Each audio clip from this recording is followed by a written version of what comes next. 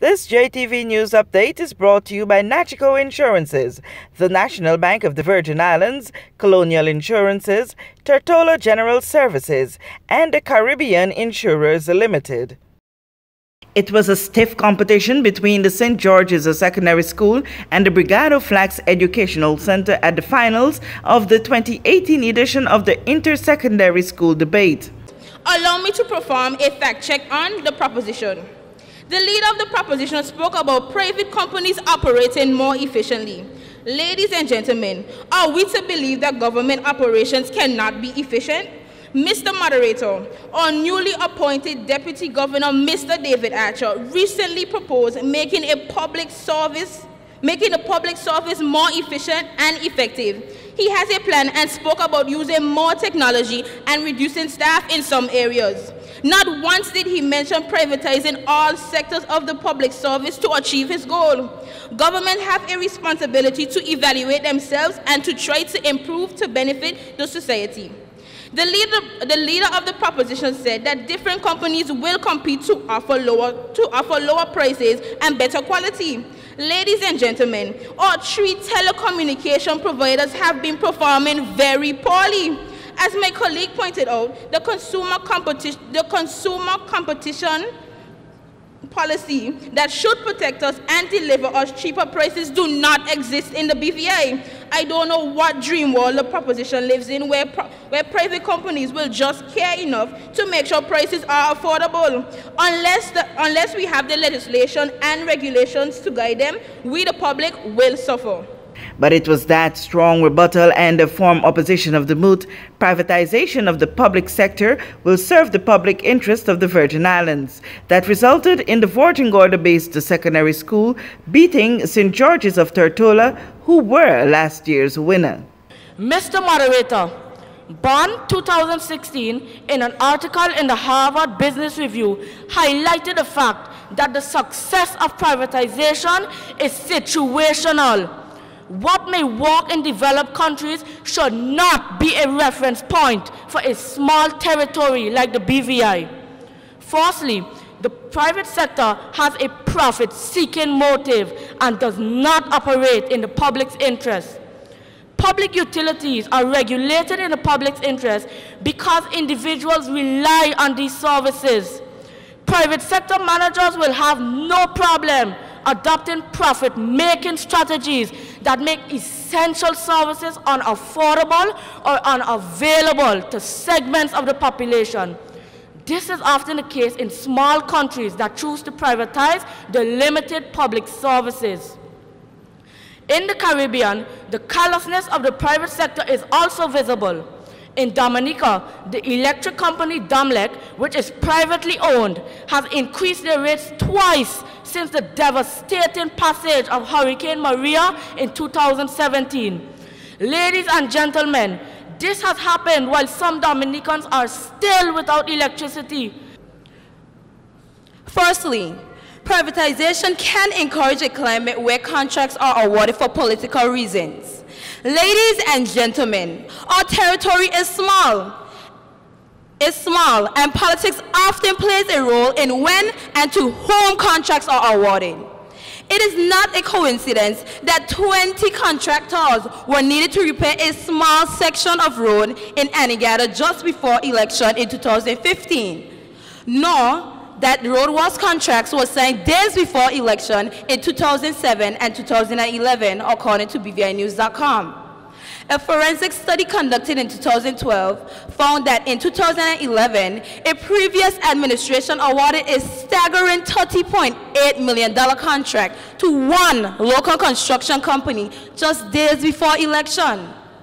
The impending privatization of the airport will surely bring its share of allegations of corruption and political favor we can unequivocally say that increased privatization in an already political driven system will not solve the public interest. It is my understanding that once a company is privatized, it will be conducted with more regard to its customers. Mr. Moderator, the main reason corporations exist is to generate profits for their shareholders. Private companies make a profit by enticing customers to buy their products in preference to their competitors by increasing primary demand for their products or by reducing costs. It is also fair to say that private corporations typically profit more if they serve the needs of their clients well. Social Security Board has recently made the historic purchase of 33% of the National Bank of the Virgin Islands ownership shares.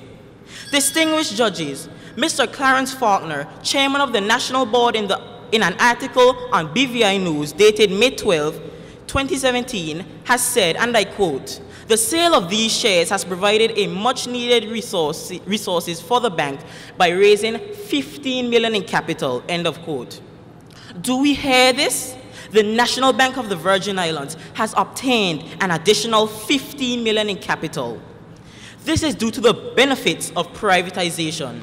As Esteemed judges, tonight the opposition presented the argument that privatization will not magically enhance the quality of services. But my opponents, some good old customer service magic does exist. Mr. Moderator, remember the government is overburdened. This means that unintentionally the quality of these government managed entities are usually a secondary priority. On the other hand, privatization enhances the quality of services due to business owners managing and focusing on the immediate needs of these services or products. The main equation of a businessman is Good equality plus security plus care equals profit and happy long-term customers. Need I say more? The intersecondary school debates aim to develop effective communication skills among the territory students while creating a platform for intersecondary school interactions and new friendships. With this JTV News, I'm Kathy Richards.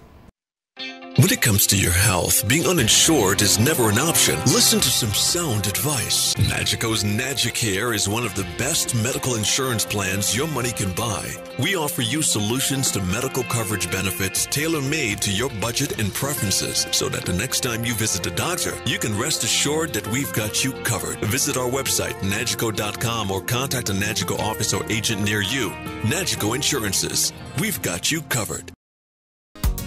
Lasco products cools you down when on the run, nourish and keep you healthy and strong.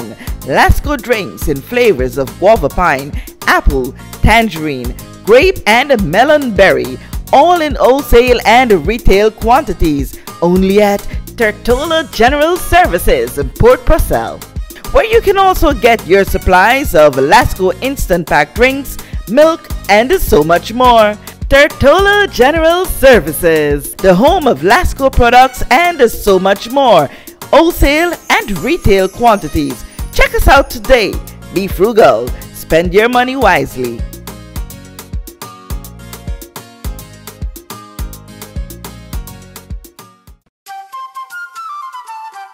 Hair in the Virgin Islands, we are blessed to live and work in paradise. Paradise just doesn't mean our tranquil blue waters and green hills. National Bank of the Virgin Islands defines paradise as any place or condition that fulfills your aspirations. To me, paradise means knowing that I will have a financing partner when I'm ready to open my first business. I feel confident that I can manage whatever life throws my way because I know my bank will be with me every step of the way. That's why I choose National Bank of the Virgin Islands, the official bank of paradise. My future's looking so bright, bright, bright, bright with the official bank of paradise, dice, dice, dice, dice, paradise. National Bank of the Virgin Islands, the official bank of paradise.